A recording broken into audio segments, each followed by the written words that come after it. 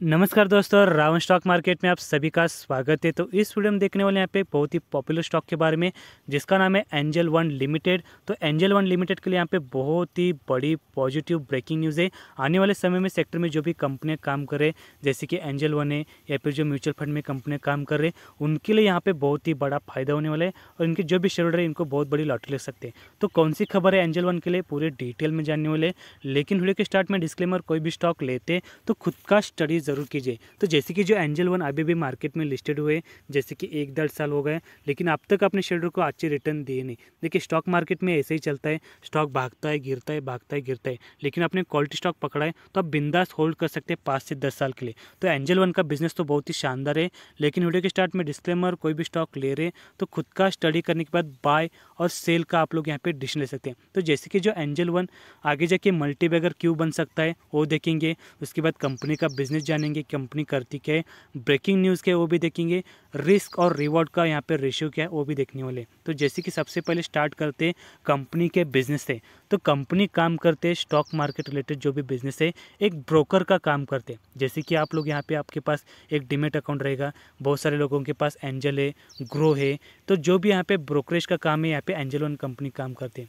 तो ये तो हो गया बिज़नेस के बारे में। तो जितना ज़्यादा यहाँ पे इंडिया में क्राउड बढ़ेगा पॉपुलेशन बढ़ेगा, उतना ही ज़्यादा फ़ायदा एंजल वन को होने वाला है। ऐसा क्यों? क्योंकि अभी जो इंडिया का जो पॉपुलेशन है, लगभग 150 करोड़ के आसपास है। हमने अभी अभी यहाँ पे चाइना को भी यहाँ पे पीछे छोड़ा है। तो आने वाले समय में जितना ज़्यादा पॉपुलेशन बढ़ेगा, जितना ज़्यादा यंग जनरेशन बढ़ेगा, उतना ही फ़ायदा इन कंपनी के लिए होने वाला है। ऐसा क्यों? क्योंकि यहाँ पे आप लोगों को पता रहेगा, जो पुराना स्टॉक मार्केट है और अभी का स्टॉक मार्केट में बहुत ज़्यादा ज़मीन आसमान का डिफरेंस है।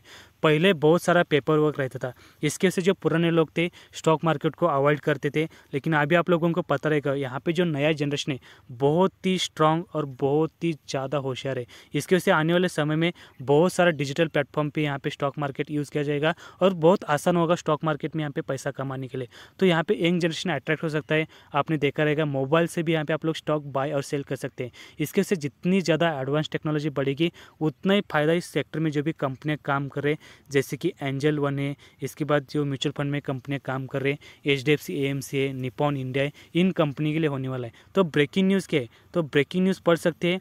Demat account rise to one one six million in April.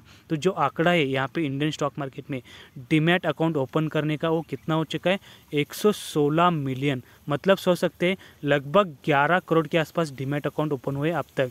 पहले कितने थे? सिर्फ़ चार या पाँच परसेंट लोग ही स्टॉक मार्केट में काम करते, जो आंकड़ा बढ़ गए, लगभग ग्यारह परसेंट से ज़्यादा हो चुका है। तो आने वाले समय में जितना ज़्यादा आंकड़ा बढ़ेगा, एक सौ सोलह करोड़ मतलब बहुत ही बड़ा आंकड़ा बन चुका है। लेकिन उस हिसाब से देखा जाए तो जो पॉपुलेशन है, उस हिसाब से जो आंकड़ा अभी तक यहाँ पे छोटा है।